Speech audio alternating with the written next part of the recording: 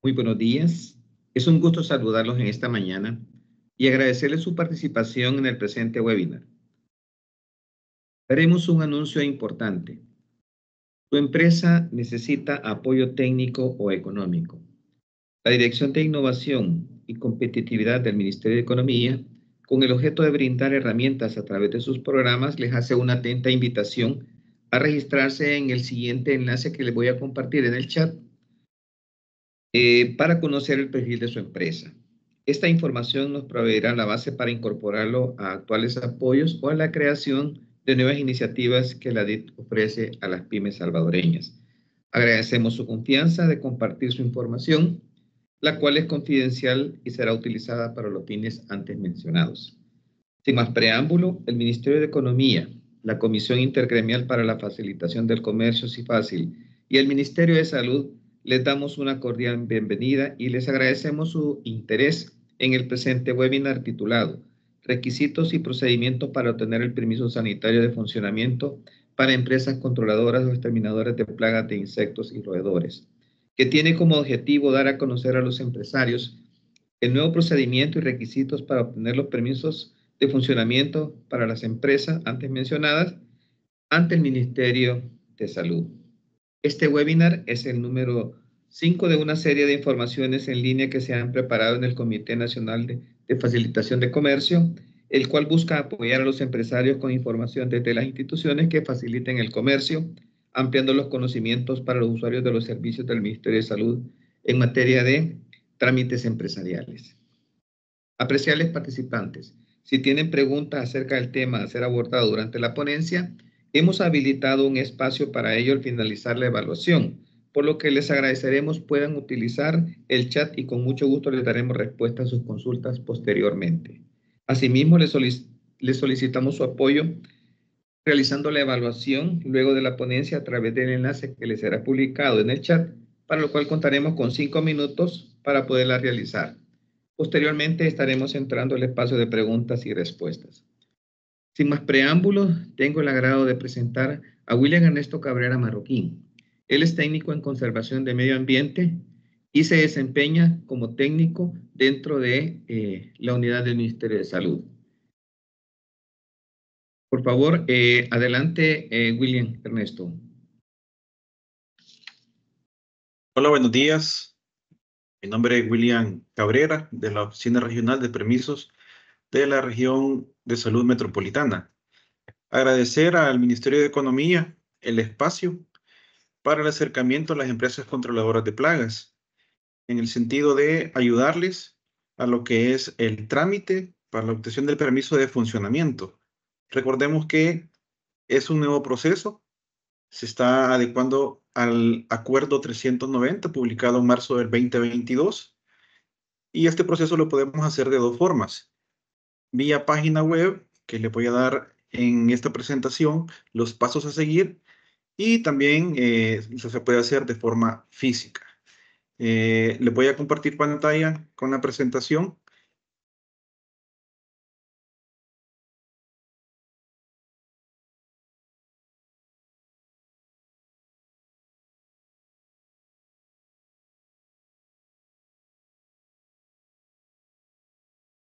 Un segundo.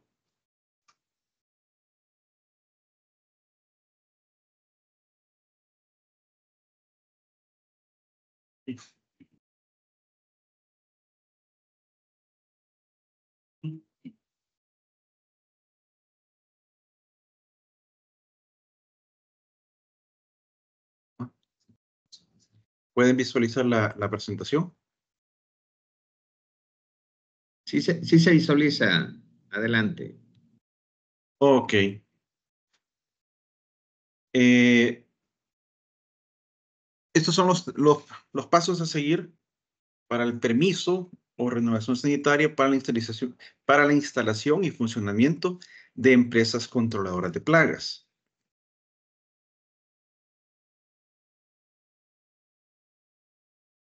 Sabemos que hay un marco legal y en el artículo 65 de la Constitución nos hace referencia a que los habitantes constituyen un bien público debiendo el Estado y las personas velar por la conservación y el, y el restablecimiento de ellos. Después el Código de Salud, en el artículo 40, nos dicta que corresponde al Ministerio de Salud elaborar las normas pertinentes para evaluar la ejecución de las actividades relacionadas a la salud y en conformidad al artículo 80 nos dice que toda persona natural o jurídica que se dedique a control de insectos y roedores deberá obtener el permiso de operación del Ministerio de Salud de conformidad al reglamento respectivo. Por lo que es necesario que se dictaminara las normas a seguir en lo que es la aplicación de plaguicidas y medidas de seguridad para con la población.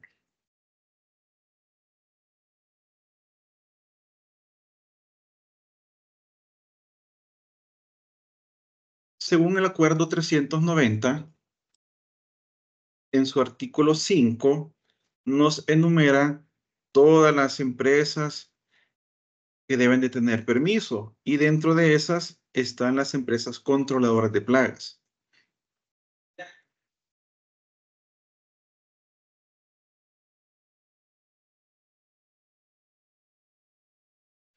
Les he puesto unos ejemplos de nuestro portal web a los usuarios para que ellos ingresen y hagan un llenado correcto, pues de esto depende el éxito de iniciar su trámite y finalización del permiso de funcionamiento, ya que a muchos usuarios nos llaman vía telefónica porque tienen problemas en el registro. Nuestro portal web trámites.salud.gov.sv tiene la opción de registrar usuario. Y ese registro se hace con el número de DUI y con la fecha de nacimiento de ese usuario. Se les pide de favor que si es persona jurídica, les estamos sugiriendo que el registro lo haga uno de los socios o el representante legal. ¿Por qué? Porque muchas empresas delegan a un tercero y si ese tercero deja de prestar servicios para la empresa, toda la información de la personería jurídica queda dentro de esa tercera persona. Y después van a tener problemas o nos van a tener que hacer una petición para migrar esa información. Por eso es el hincapié que el registro sea con uno de los socios de los fundadores o el representante legal. Después de haber ingresado el DUI y la fecha de nacimiento, ustedes van a ver la siguiente pantalla. Pedirles de favor que no dejen ningún campo vacío. Si quedan campos vacíos, cuando ustedes traten de hacer la activación del usuario, va a haber un error si no hay número de teléfono fijo, por favor poner dos veces el número de celular, crear su propia contraseña siguiendo los, los requisitos que pide la página y después de eso, ustedes verán el mensaje que su usuario ha sido registrado con éxito. Una vez más, pedirles de favor que lean de forma completa las indicaciones de la página. Pues muchos usuarios también omite el paso de la activación de ese registro. No revisan los correos electrónicos, no ingresan a la URL que les es enviada para activación y al ver que no pueden ingresar, piden cambio de contraseña y al pedir ese cambio de contraseña, después el sistema ya no me va a activar ese usuario.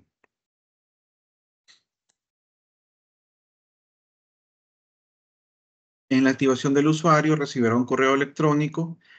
Algunos correos por política de seguridad marcarán como no seguro el correo que el remitente es sistema de permisos. Hay empresas que por filtros tampoco me están recibiendo los correos y eso da el error de la activación del usuario. En algunas ocasiones está cayendo en la carpeta de spam y se les pide marcarlo como seguro para que se vaya a la bandeja principal y ustedes puedan ingresar al link y hacer la activación de forma correcta. Después de haber realizado la activación, nuestra página le dirá que su cuenta fue activada exitosamente y le da la bienvenida.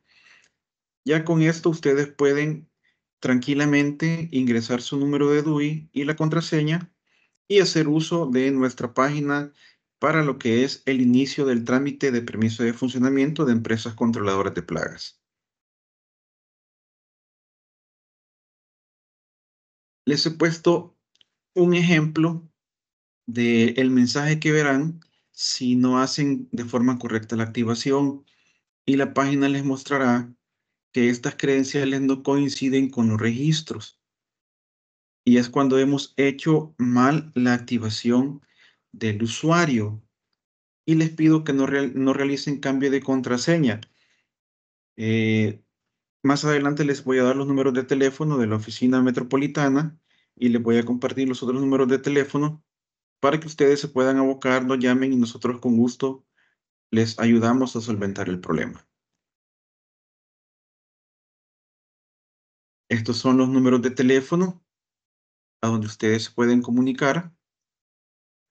Yo estoy en la oficina de la región metropolitana.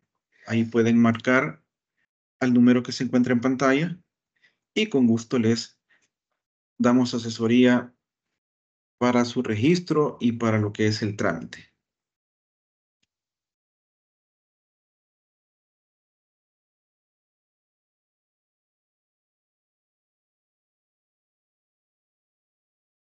Instrumento de evaluación sanitario, según la complejidad de las instalaciones, lo vamos a necesitar para la evaluación de su establecimiento. La ficha de evaluación sanitaria para el permiso de operación de actividades de control de insectos, roedores y otros animales.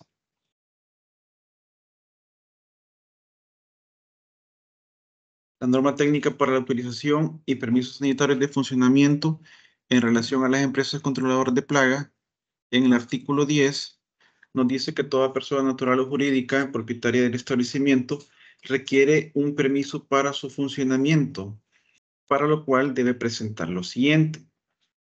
El formato de la solicitud,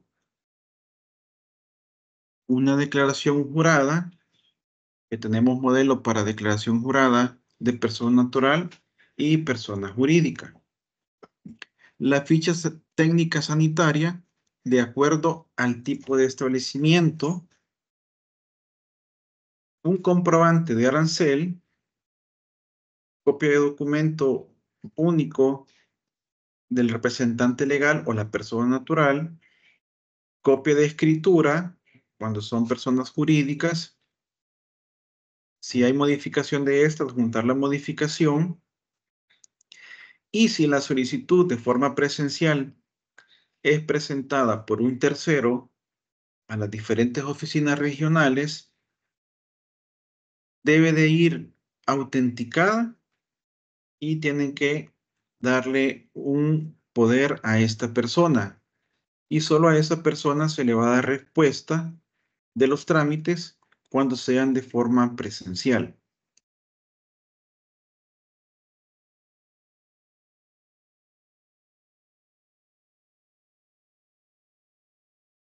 Dentro de los requisitos administrativos que necesita la solicitud me pide un contrato con un regente con perfil de ingeniero agrónomo o químico. Ya ustedes eh, saben que ese contrato debe de adjuntarse a la solicitud y que ese regente tiene que tener la credencial del Ministerio de Agricultura y Ganadería. Como segundo requisito administrativo, nosotros pedimos la lista de los aplicadores según el sexo, el DUI, la edad, nivel educativo, que esta persona firme ese cuadro que ustedes me van a adjuntar y certificados de salud de cada uno de ellos. Les he puesto que esos certificados de salud o esos exámenes son los que reza el reglamento técnico salvadoreño para las empresas controladoras de plagas en el artículo 14. Les voy a mostrar qué es lo que reza ese artículo 14 porque hemos visto que algunas empresas solo nos adjuntan examen general de heces y orina y una constancia de salud. Y el requisito de los exámenes de heces y orina se aplica para el manipulador de alimentos. Sin embargo, van a ver que en los documentos que pide de los exámenes, el reglamento también hace referencia a esos exámenes, pero agrega otros exámenes. Les voy a compartir el artículo 14.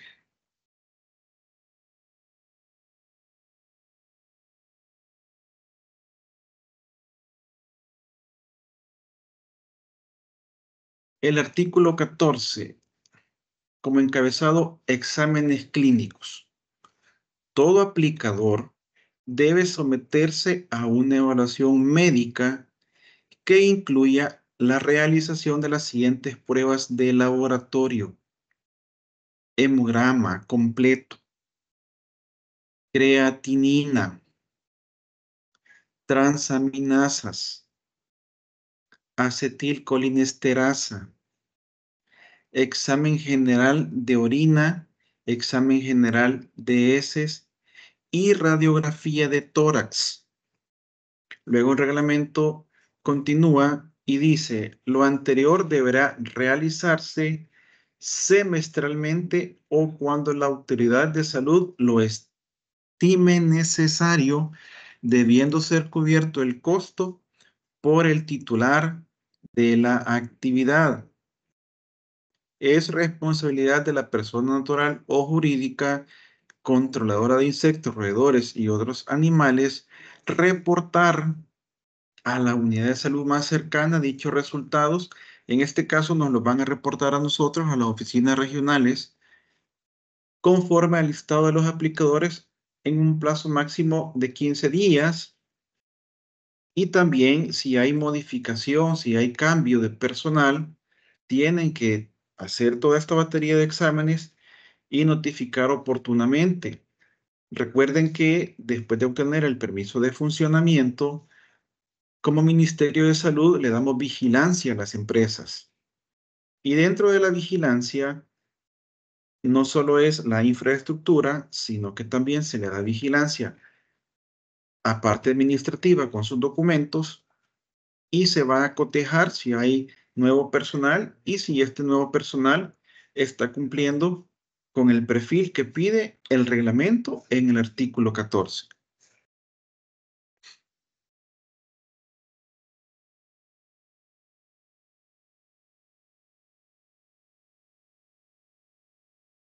Y me pide también, como otro requisito administrativo, una memoria descriptiva del proyecto. Cuando vamos a iniciar el trámite, aparece una viñeta donde dice ver requisitos. Y dentro de ver requisitos, ustedes van a ver en letras celestes memoria descriptiva del proyecto. Al darle clic a esas letras, nos va a dirigir al modelo a seguir. Y en base a ese modelo, ustedes van a desarrollar la memoria descriptiva de acuerdo a su establecimiento.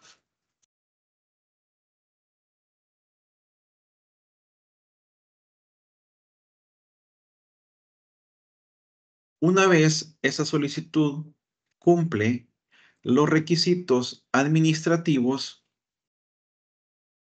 es pasada a la jefatura inmediata para que se emita un permiso provisional de funcionamiento. Ese permiso provisional tiene una vigencia de tres meses.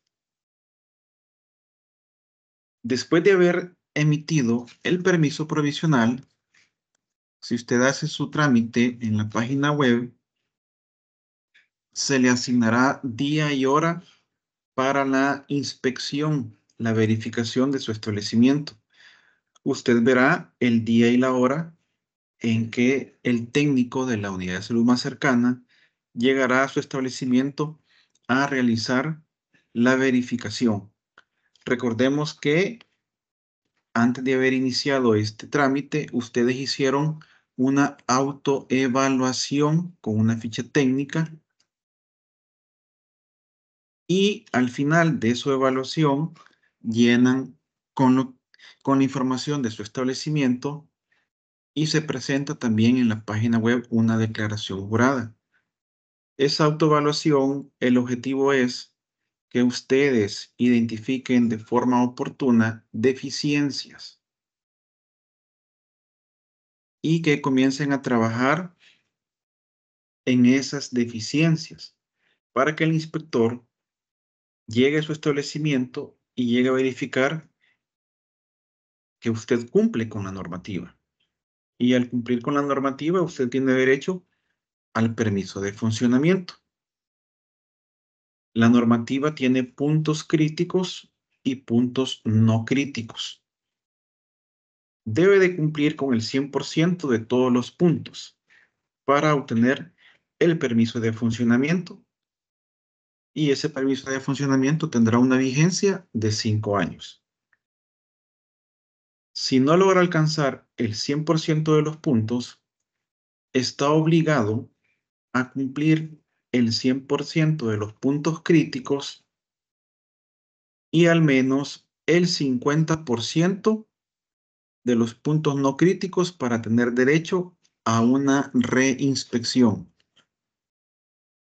Si el día que el técnico realiza la evaluación de su establecimiento, ustedes no cumplen un punto crítico, el técnico finalizará la inspección, enviará la información por cualquiera de los medios, si es digital, de forma digital, si es de forma presencial, él elaborará un informe y lo remitirá a la oficina de permisos, donde su solicitud tendrá un cierre y se revocará el permiso provisional.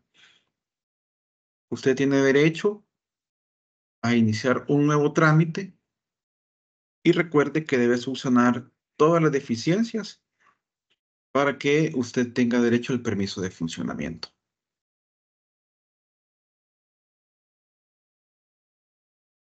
Durante el periodo de vigencia del permiso, en el artículo 16 del acuerdo 390 hace referencia a tres literales. El A, que la ficha técnica servirá para que se le otorgue el permiso de funcionamiento. Literal B, para tener derecho a la reinspección. Y literal C, como ya se los expresé, lastimosamente, a la revocatoria de ese permiso de funcionamiento. En base a las observaciones, se le va a emitir un periodo de tiempo para realizar esas correcciones. Puede ser desde una semana hasta un mes y eso va a depender del tipo de corrección. Si fuese que deben ustedes invertir en infraestructura del establecimiento, pues se le va a dar un tiempo prudencial para que ustedes inviertan y subsanen las observaciones. Pero si son cosas como pictogramas, iluminación de las bodegas, algo sencillo que lo pueden reparar en una semana, pues el tiempo sí también se les dará acorde al tipo de la observación. En las oficinas regionales vamos a emitir los permisos de forma presencial. Ahí pueden mandar ustedes a la persona autorizada, cuando ya tengan el visto bueno, las oficinas nos estamos comunicando con ustedes. Es por eso también que interesa que los números que nos dejen de contacto estén vigentes, se les va a llamar y se les dirá que tienen derecho al permiso, el día en que pueden pasar a retirarlo. Si lastimosamente se les revocó, se les va a entregar una resolución de revocatoria y después de la resolución ustedes pueden iniciar un nuevo trámite. Si el trámite de permiso de funcionamiento lo hace vía página web, usted verá un mensaje que su permiso está en espera de firma. Y cuando este ya esté firmado, usted lo va a descargar desde su usuario. Ese permiso lleva firma digital y código QR exclusivo de su empresa. Usted puede leer esos códigos QR y ahí verá el día que se emitió el permiso, la vigencia de ese permiso, cuántos días se ha transcurrido de la firma del permiso y cuánto tiempo queda de vigencia de ese permiso de funcionamiento. Cuando se emite un permiso provisional y este es revocado y usted desea escanear ese código QR, la respuesta que va a recibir de nuestro servidor solo será una X, donde significa que el inspector llegó, que no cumplieron con los requisitos y que su permiso provisional fue revocado.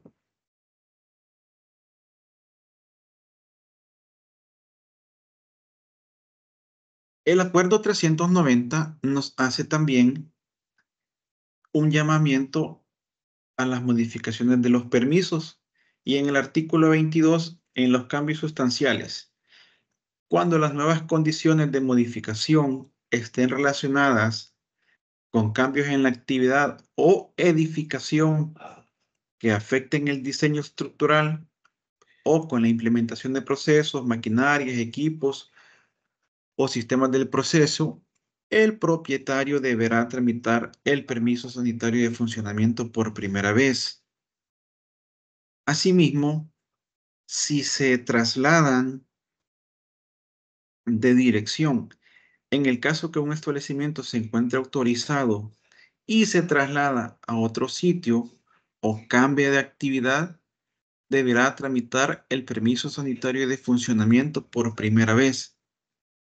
En el artículo 22 me está indicando que si el técnico llega y las instalaciones es una bodega pequeñita, pero usted después su negocio crece y hace una modificación donde su bodega cambia, ya no es solo una, son dos, tres, ya es un edificio de dos niveles, entonces debe de sacar el permiso porque esas condiciones sanitarias cambiaron. El inspector el día que evalúa su establecimiento llega y verifica las instalaciones y si estas hay un cambio, se tienen que adecuar a la normativa. Igual en el traslado. El inspector llega y evalúa el establecimiento original donde ustedes están instalados y él da fe que esas instalaciones cumplen la normativa. Pero cuando ustedes se van a un nuevo lugar, las reglas del juego cambian y ustedes tienen que sacar un nuevo permiso y el inspector tiene que llegar a evaluar una vez más las nuevas instalaciones y decir si efectivamente están cumpliendo con la normativa.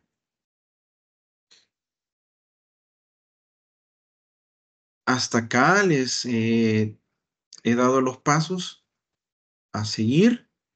Eh, voy a hacer un cambio. Tengo un usuario donde ya tengo un ejemplo de solicitud donde ustedes pueden ver los procesos desde cero de cómo vamos a crear una solicitud.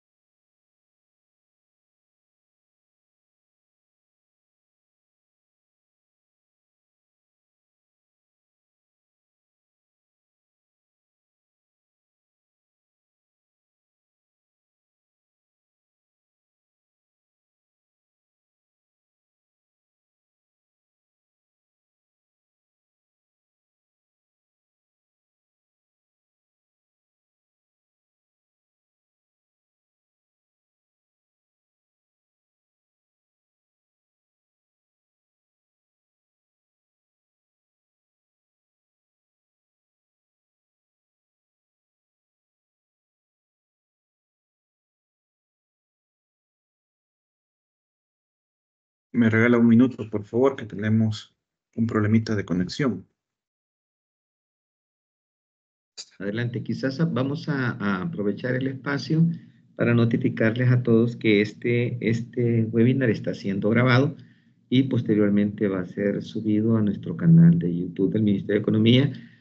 Pues entendemos que es información valiosa para todos ustedes y la idea es compartir esa información. Así es que vamos a estar pendientes, nosotros vamos a estar notificando a través de estos, de esto, de este canal, así como eh, posteriormente en las redes, ¿verdad? Así es que para que ustedes lo tomen en consideración eh, desde ya. Gracias.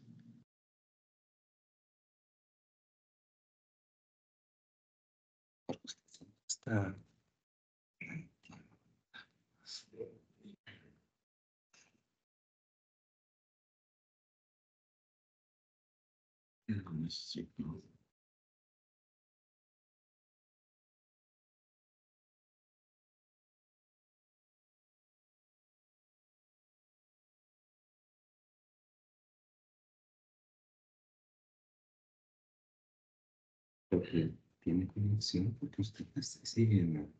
O sea, si no tuviera, no se, conectaba. Me permite. Yo, imagino.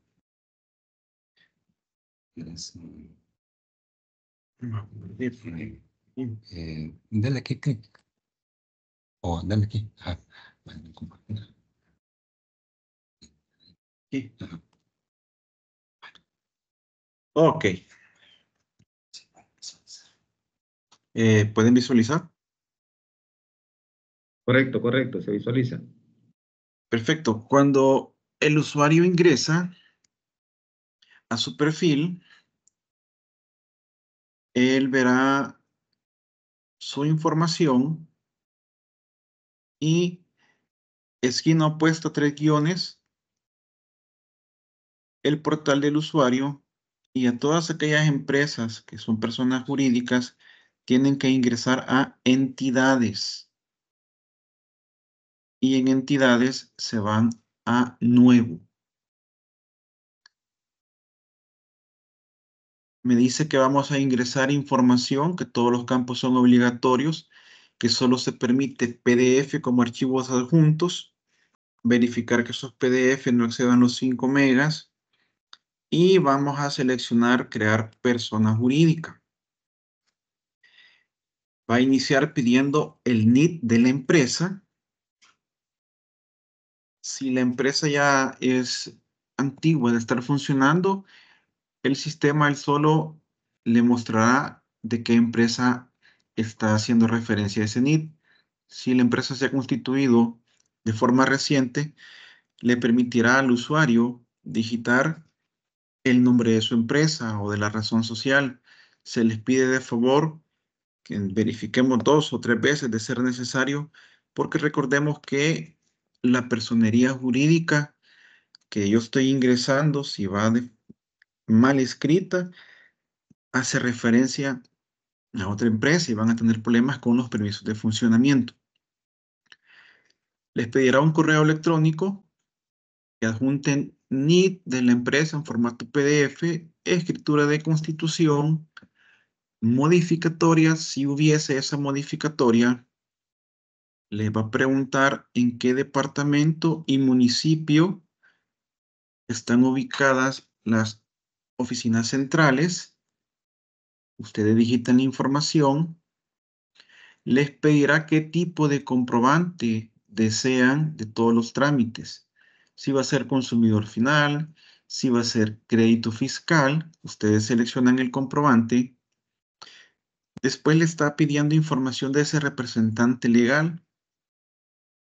Si es salvadoreño, el número de DUI, la fecha de nacimiento y ustedes verán la información.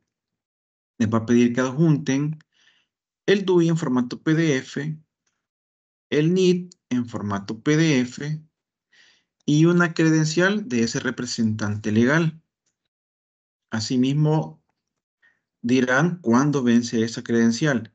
Si la empresa se acaba de constituir, adjuntar una vez más el acta de constitución porque todavía no han pasado el periodo de vigencia del primer representante legal.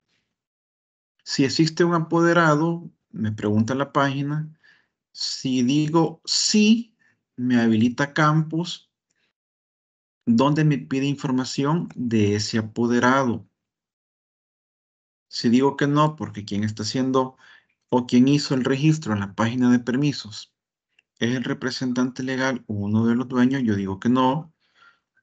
Y en este punto es de vital importancia porque me dice que la información de contacto debe ser igual al nombre de la persona natural que se registró en nuestra página.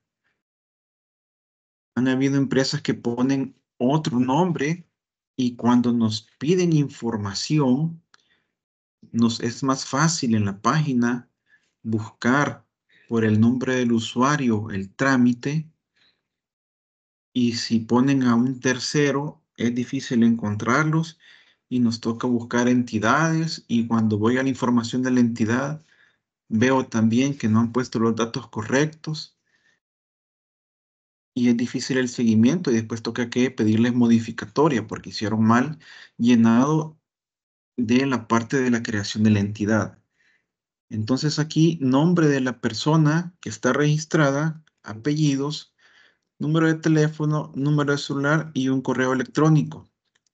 Después me pregunta, por último, ¿qué relación tiene la persona natural que tiene el registro con la personería jurídica?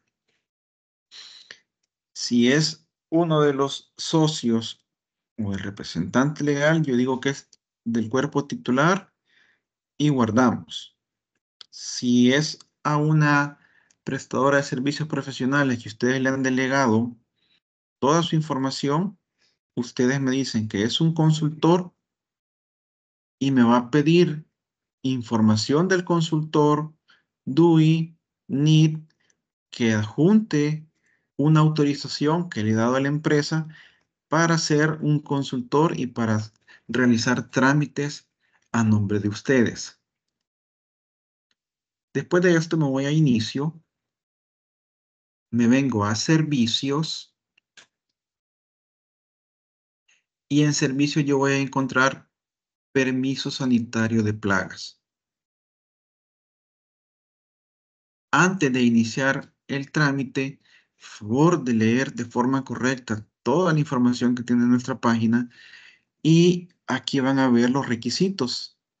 Yo hace un momento les dije que aparecía en celeste memoria descriptiva. Aquí están los requisitos administrativos a cumplir Aquí está el valor del trámite y al dar memoria descriptiva me manda al modelo el cual debo de desarrollar con la información de mi empresa. Aquí me dice que seleccione a nombre de qué entidad se va a tramitar el permiso.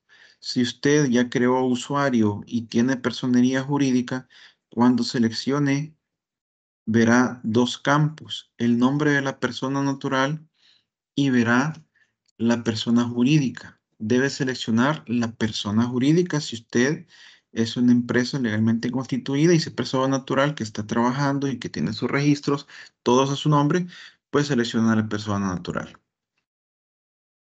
Inician el trámite y nos va a mostrar ficha de evaluación sanitaria para permiso de operación de actividades de control de insectos, roedores y otros animales. La ficha de autoevaluación. En esta ficha de autoevaluación, inicia preguntando si tenemos permiso con agricultura y ganadería y si tenemos un plan de contingencia. Recordemos que en esta autoevaluación usted me va a decir cómo está su empresa, si tiene los documentos administrativos y si cumple o no la normativa. Vamos a hacer un ejemplo de llenado. No necesariamente tiene que venir con todo cumple. Porque necesitamos que ustedes identifiquen de forma oportuna y trabajen en esas correcciones.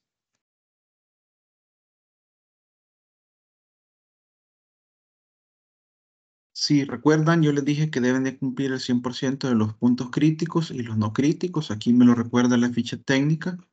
También me recuerda la condición de cumplir el 100% de críticos y el 50% de los no críticos para obtener el permiso de funcionamiento. Concluimos autoevaluación. Vemos los porcentajes. Eso usted le indica que hay que trabajar, que hay que mejorar. Y pasamos a los datos del establecimiento. Donde dice nombre de establecimiento, por favor póngame el nombre comercial no me ponga la razón social, porque el cuerpo del permiso va a hacer referencia a el nombre comercial ubicado en tal dirección, propiedad de tal razón social. Recordarles que la normativa está hecha para evaluar establecimientos, entonces llegamos y evaluamos establecimientos, por razón por la cual ese nombre de establecimiento tiene que ser el de su marca, no el de la razón social. Vamos llenando todos los campos. Va a pedir qué tipo de establecimiento, se lo vamos a ver uno. Número de teléfono de contacto, a dónde está ubicada su empresa. Vamos a poner, por ejemplo, Rosario de Mora. Y me va a pedir que en el mapa usted me ubique a dónde está esa empresa o el establecimiento. Las horas de funcionamiento, desde qué horas a qué horas abren y atienden al usuario, número de teléfono de oficina, y aquí necesito nombre de quién va a recibir al inspector en su establecimiento. Luego vamos a los requisitos Aquí usted me va a enunciar los químicos que están utilizando. Me va a juntar en PDF el contrato con el regente.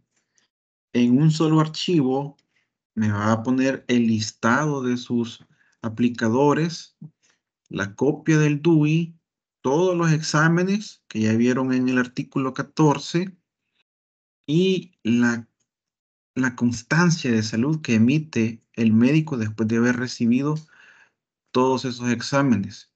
Recordemos que como Ministerio de Salud estamos vigilando y que se dé garantía de la salud de esos aplicadores. Entonces el médico le va a poder determinar si alguno de sus aplicadores necesita algún cuidado especial. Eh, lastimosamente, pues nos ha tocado ver exámenes donde llegan que ya tienen algún grado de insuficiencia renal hacerles hincapié que estos aplicadores también ocupen los equipos de bioseguridad que ustedes les están brindando. Y adjuntamos también la memoria descriptiva.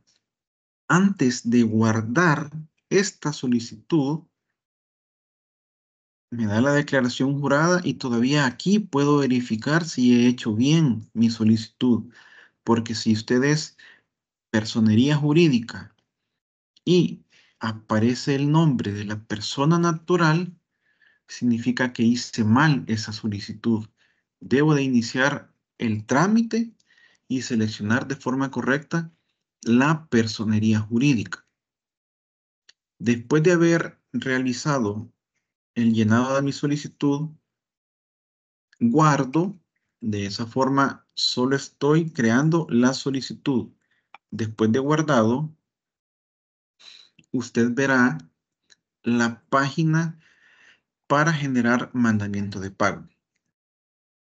Si es persona natural y usted quiere consumidor final, selecciona consumidor final. Si es persona natural, tiene registro de IVA y todo, me pone crédito fiscal y va a poner sus datos. Si la solicitud usted la está creando desde el perfil de la personería jurídica, en la personería jurídica usted seleccionó que necesita crédito fiscal, este, este punto ya va a venir seleccionado, le va a preguntar a dónde quiere retirar su factura. Si es San Salvador, lo puede hacer en la Colectoría de Secretaría de Estado o lo puede hacer en el Laboratorio Central Max Block, que está ubicado sobre la Alameda Roosevelt, frente al Parque Cuscatlán. Ese mandamiento de pago lo debe de cancelar en el Banco Agrícola, únicamente Banco Agrícola. Lo puede descargar y enviar a pago o puede generar número de pago electrónico. Y el siguiente día hábil de haber realizado su pago, se presenta a la oficina que usted ha seleccionado a retirar su comprobante de crédito fiscal. Debe de llevar su mandamiento de pago debidamente sellado y con gusto en las oficinas de colecturía le van a buscar según el NPE su registro de pago y ellos le van a emitir el comprobante de crédito fiscal. Como ya estamos trabajando con la factura electrónica, si no tiene registro con nosotros, le van a crear el registro y de forma electrónica le van a hacer llegar su comprobante de crédito fiscal. Si usted es persona natural y no tiene NIT, y aquí me pide un NIT para generar su NPE, usted debe de colocar cinco ceros. Y después del quinto cero, colocar su número de NIT, número de DUI, perdón, para que le genere el mandamiento de pago. El valor a cancelar son 65 dólares. Y aquí usted puede hacer o descargar mandamiento de pago o realizar el pago en línea y al darle siguiente le va a generar su archivo PDF del mandamiento de pago o verá una ventana emergente con el NPE para que usted pueda cancelar a través de banca del Banco Agrícola. Una vez hecho el pago de su solicitud, las oficinas regionales de permisos de funcionamiento veremos su solicitud y le daremos un seguimiento. Vamos a entrar a detalles de la solicitud y en el seguimiento usted verá el día y la hora que se inició la revisión de su solicitud, si la solicitud cumple con los requisitos administrativos, ese mismo día se pasará para firma de permiso provisional y de no cumplir, en este seguimiento usted verá la observación que le ha hecho el técnico de la oficina de permisos. Si, le si por ejemplo, fallara el listado de los aplicadores y usted solo subió la copia del DUI y la constancia de salud de sus aplicadores, tiene que crear un nuevo archivo donde va a subir de forma completa toda la información. Hay usuarios que tienen dos archivos y piensan en subir dos archivos. La página solo me recibe un archivo y me hace sustitución del archivo anterior. Entonces, ¿qué significa? Que si le hacían falta los exámenes y usted piensa solo mandarme un archivo con exámenes, va a recibir una observación una vez más porque queremos el documento completo. Y por favor, si pueden escanear esos documentos, hay tantas aplicaciones ahora para escanear es lo mejor. Hay usuarios que me mandan fotografías oscuras o fotografías con fondos, no me las recortan y recordemos que todos estos documentos forman parte de un expediente legal. Si su solicitud es pasada a permiso de funcionamiento, usted verá acá donde dice permiso sanitario provisional emitido, el avance y aquí abajo usted verá una opción que le permite descargar ese mandamiento, ese permiso provisional. Después pasará a la parte de visitas, donde aquí usted podrá ver el día y la hora en que llegará un técnico a evaluar su establecimiento. Posterior a la evaluación de su establecimiento, usted puede ver el resultado de esa evaluación y aquí verá los campos con los porcentajes obtenidos y toda la ficha técnica donde el técnico ha puesto que cumple y no cumple. Si usted tiene derecho al permiso, verá también en el, en el seguimiento una leyenda donde dice que su permiso está a espera del jefe regional. Si se le dan observaciones, lea las observaciones y haga referencia a la cuarta viñeta y váyase al detalle de su solicitud. Ahí creamos una, una solicitud de ejemplo y usted puede ver los archivos adjuntos, verificarlos y decir efectivamente subí un archivo incorrecto, porque puede suceder, o mi archivo va incompleto y usted sabe que lo debe completar y adjuntar una vez más. Cuando usted reciba observaciones, verá su solicitud, verá el icono del detalle y aquí aparecerá un icono con un lápiz. Ingresa a ese icono siempre y cuando ya tenga todos los documentos listos. La página tiene temporizador y si usted se, tarda demasiado, le va a cerrar la sesión y va a tomar como que ya realizó los cambios. Si usted pretende subir ahora un documento y mañana subo otro, no le va a dar opción. Usted tiene que tener listos los documentos. Cuando ingrese a la parte de la observación, le va a habilitar cuatro viñetas. Usted se va desplazando en las viñetas adjunta los documentos. Si es necesario corregir nombre o dirección, en la viñeta 1 verá su nombre y dirección de establecimiento. Los corrige y hasta que ya haya hecho todos los cambios, hasta entonces le da guardar. Si en la viñeta 1 hizo un cambio y le dio guardar y le hacían falta las otras viñetas, pues lastimosamente se va a tener que comunicar con nuestra oficina para que se le habilite una vez más la opción de corregir su solicitud.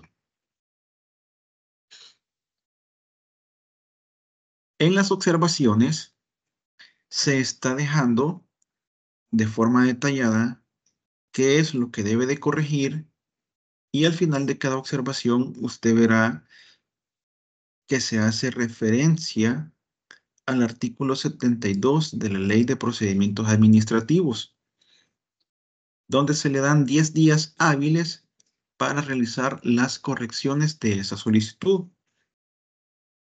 Después de esos 10 días hábiles, la ley de procedimientos administrativos nos manda a que archivemos esa solicitud. Si su solicitud es archivada, usted tiene derecho a presentar una nueva. No se pueden eh, realizar o retroceder esas, esas archivadas y usted tendrá que realizar un nuevo trámite y pagar una vez más los aranceles del trámite de permiso de funcionamiento de empresas controladoras de plagas.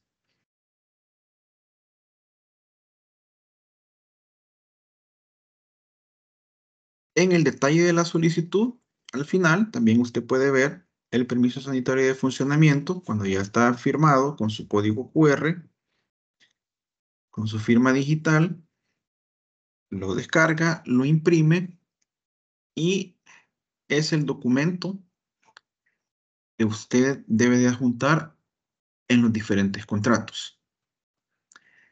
Paso ahora a la parte de los contratos. Eh, algunas solicitudes de otro tipo de establecimientos a los cuales ustedes le brindan sus servicios profesionales son revisadas por la parte técnica del Ministerio de Salud. Se le pide a los usuarios que adjunten de forma completa. El problema es que hemos detectado que algunas veces la dirección del establecimiento que pide permiso no coincide con la dirección a la que ustedes le brindan un servicio. También hemos detectado que algunos ya tienen una preforma elaborada y por error involuntario me ponen un establecimiento X de San Salvador, por decir un ejemplo, y abajo en la dirección me hace referencia a Santa Ana, por decir algo. Revisen muy bien los documentos. envíenle de forma legible también a sus usuarios y si ya pueden enviárselo en PDF, pues mucho que mejor, porque hay usuarios que a la hora de la, adjuntar los documentos, solo me, me adjuntan la hoja del contrato o el comprobante de la aplicación que hicieron ese día y no los documentos completos. Entonces, por favor, eh, verifiquen que los documentos que ustedes están emitiendo también vayan con las direcciones correctas para que estos usuarios también no tengan problemas con nosotros en lo que son los permisos de funcionamiento, en las solicitudes de ellos.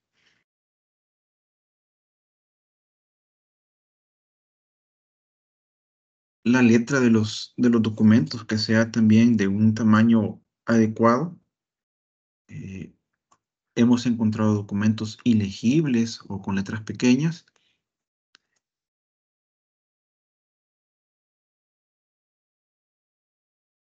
Esto es eh, para la mejora de ustedes. Hasta aquí eh, la parte de cómo elaborar la solicitud, de cómo presentarla, de cómo hacer su usuario, de cómo poder tener éxito en el trámite de permiso de funcionamiento de sus establecimientos.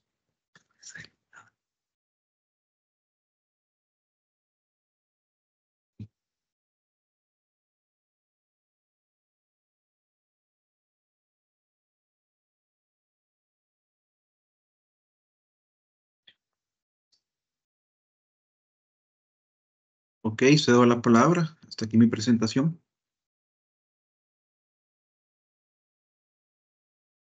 Muchísimas gracias por su presentación.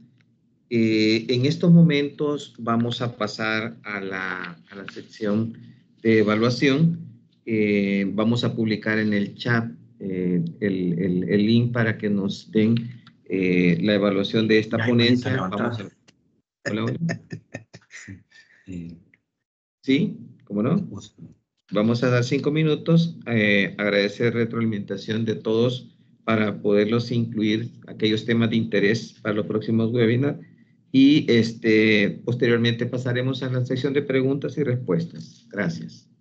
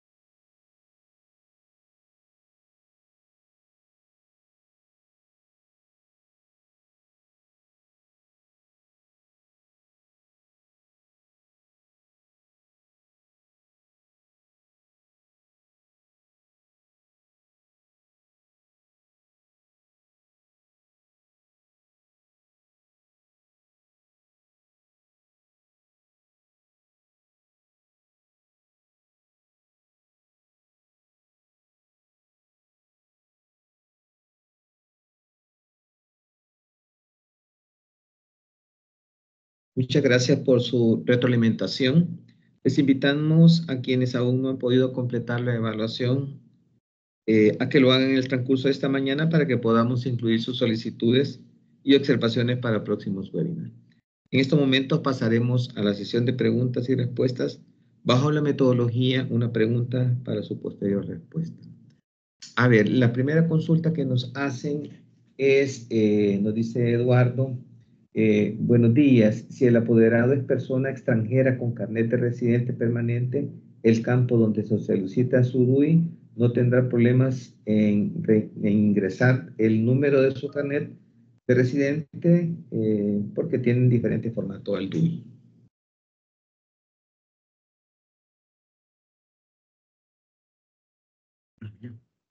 Ok, eh, si el, el número de carnet, efectivamente sabemos que no es la misma cantidad de números que nuestro DUI, se está trabajando para obtener esa base de datos. Entonces, si un representante legal es extranjero, tenemos la opción, como le dije a un inicio, de recibir esas solicitudes de forma física en las diferentes oficinas regionales la metropolitana, aquí San Salvador, estamos ubicados en 75 Avenida Sur, número 214, Colonia Escalón. Estamos antes de llegar a la Fuente Beethoven, frente al Parqueo Gamaliel, para darle respuesta al compañero Eduardo. Ok, muchas gracias. La siguiente consulta nos hace Beatriz de Hernández y nos dice, eh, nos pregunta, ahora todo el proceso es en línea. Después de la inspección física y subsanadas las observaciones, se obtiene el permiso digital en la plataforma. ¿Es así? Es correcto. Eh, si el usuario cumple con la ficha técnica, como les explicaba, eh, el mismo día podrá ver si va para reinspección o si su documento está en espera de firma de la jefatura regional y ese permiso, al ser eh, definitivo, la vigencia será de cinco años. Excelente, muchas gracias por la aclaración. Eh, la siguiente consulta que nos hacía Beatriz Hernández dice, ¿cómo logro diferenciar un permiso obtenido de otro? La consulta es porque el permiso no trae título, solo un número eh, diferente del otro.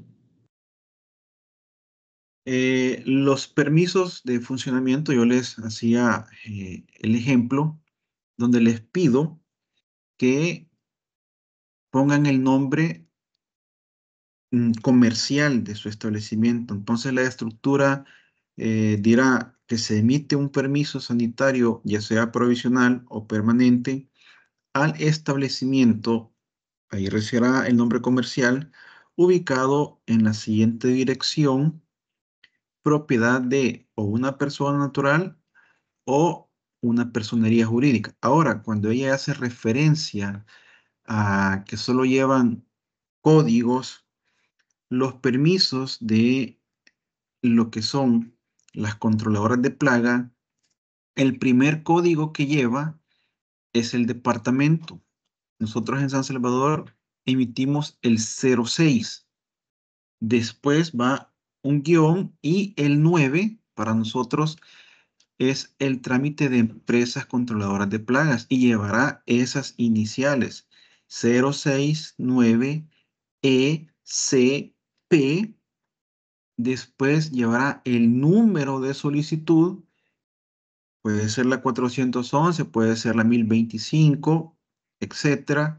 Y posteriormente llevará el año en que fue creada esa solicitud. Si su permiso fue emitido en el 2023, podría ser la 06-9SP-125-2023.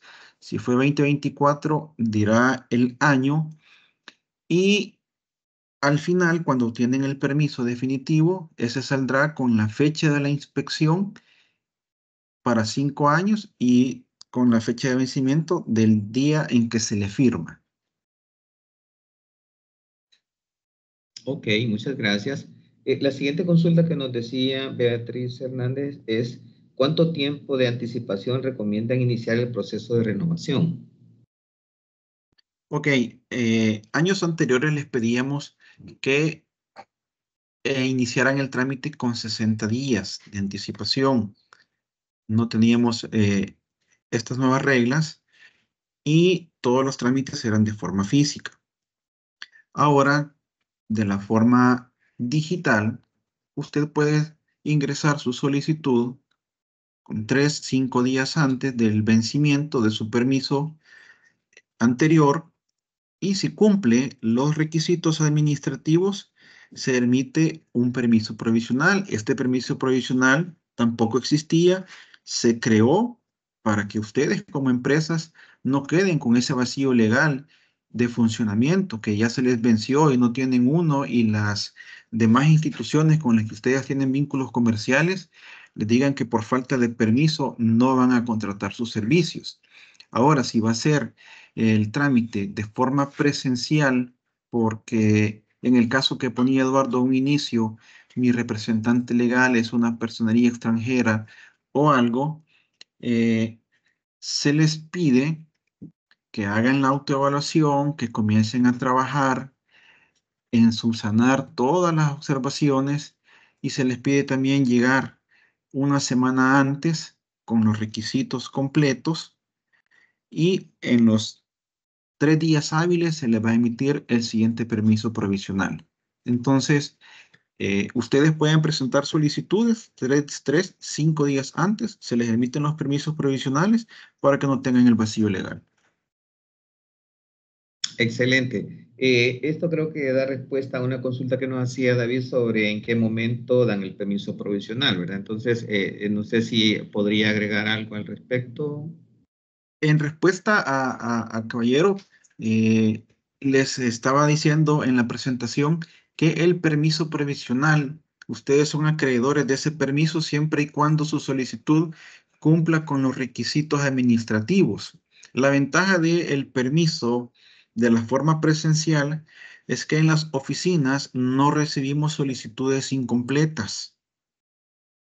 En, en cambio, en línea, les ponía también el ejemplo, por error involuntario, usted puede subir un documento, se equivocó de archivo, va a recibir las observaciones y hasta que corrija y cumpla los requisitos administrativos, su solicitud es pasada para un permiso provisional.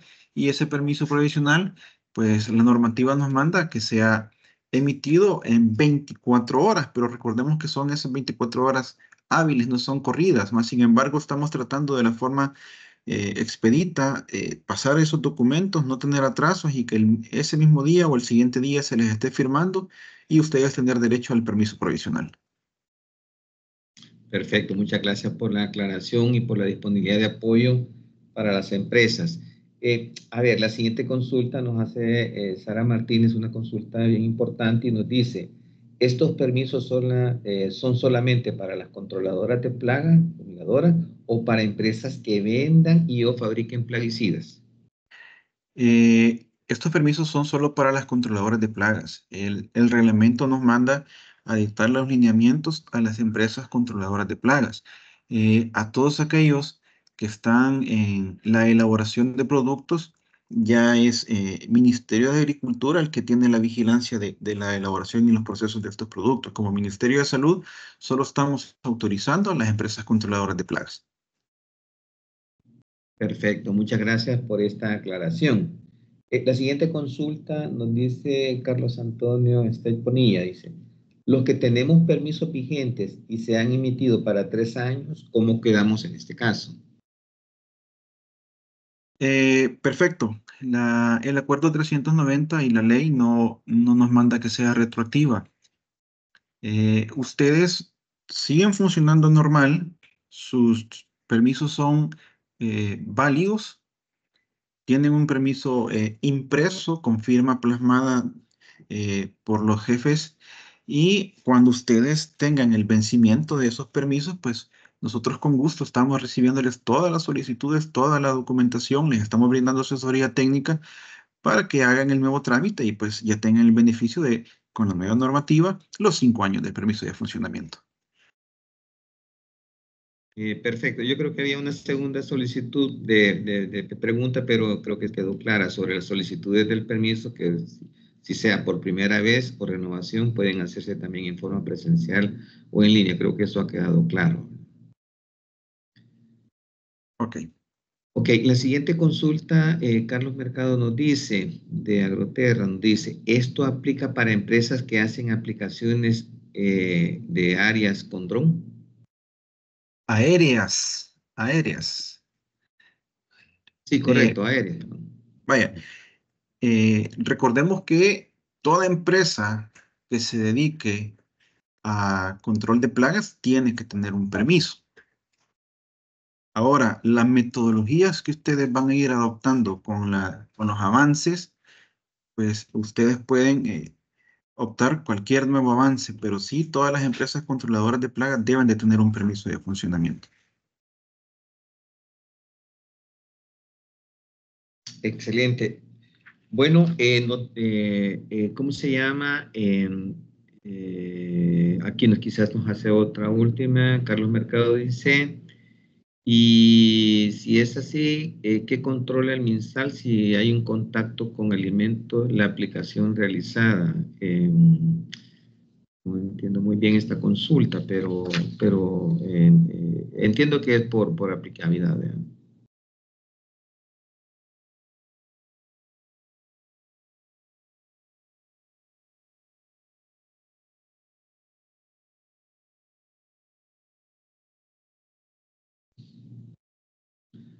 Bueno, eh, hay algunas, eh, algunas consultas, solo nos dice Beatriz Hernández y que para Cajutra el código es 03. Eh, sí, recordemos que en la nomenclatura del permiso les dije que primero va el código del departamento, después va guion 9SP, que es el trámite de las empresas controladoras de plagas. Entonces, puede ser Aguachapán 01, Santa Ana 02, puede ser 05 La Libertad, 04 Chalatenango, puede ser 10 San Vicente, o sea, depende del departamento donde esté ubicado eh, la empresa, así será el, primer número que llevará del código. Ok, quizás hay una, una, última consulta. Víctor Hugo nos dice, el formulario para renovación de permiso es el mismo que por, para primera vez. Sí, los formularios eh, de forma presencial de la solicitud son los mismos. Eh, si recuerdan, eh, los usuarios que lo hicieron de forma presencial, arriba traía dos, dos casillas para que me mencionara si era por primera vez o si era por renovación. Los permisos que se están sacando en línea ya no verán la palabra renovación, solo dice permiso sanitario de funcionamiento. de la ley anterior si les poníamos renovación de permiso de funcionamiento, pero ya con esta nueva disposición, todos los permisos dicen permiso de funcionamiento, permiso sanitario de funcionamiento. Ok, sí, este, quizás aquí también en el apartado de preguntas y respuestas, ahí eh, nos hace una consulta. Eh, Kovac nos dice, para la inscripción de personas jurídicas, usted comentaba que se debía anexar la escritura de constitución de la sociedad. Sin embargo, en el caso de las nuevas sociedades, es SAS, ¿verdad? Que es el nuevo, el nuevo modelo que tiene de, empresa, eh, que no se realizan por medio de escritura pública, sino que por medio de un formulario que se presenta en el CNR, ¿qué documento se debe anexar? Vaya, recordemos que el CNR también está emitiendo al final de esa inscripción, que ahí nos dice que yo solo puedo crear mi propia empresa, o dos, y el, incluso los capitales me habla desde un dólar en adelante, pero yo entrego una documentación a CNR y CNR después también me emite un documento final. Entonces, esos documentos que emite CNR son los que debo de apuntar, que ya no vienen de la forma anterior como era la acta de constitución, es cierto, pero tenemos que subir un documento a nuestra página, si no, no, tenemos vida ni respaldo de esa personería jurídica. Perfecto, no, perfecto, muy claro, muy claro. Eh, bueno, hemos llegado al final de este, de este webinar. Agradecemos a William Ernesto Cabrera Marroquín por compartir su tiempo de manera voluntaria para el apoyo de esta capacitación, en la cual nos ha dado mucha información, mucha muchos insumos para poder, eh, esa instrucción muy buena, una guía de cómo podemos hacer esto en línea y promocionar precisamente toda esta transformación digital a la cual estamos queriendo ingresar todas las instituciones. Y también de igual manera eh, eh, agradecemos a cada uno de ustedes por acompañarnos al final de este webinar y les invitamos a que nos acompañen el día de mañana para el tema de elaboración y presentación de informes periodos de seguridad. Esto lo vamos a hacer con la Dirección Nacional de Medicamentos y pues eh, eh, estamos siempre a la orden tratando de eh, fortalecer el conocimiento para el sector empresarial. Tengan todos muy buenos días y bendiciones.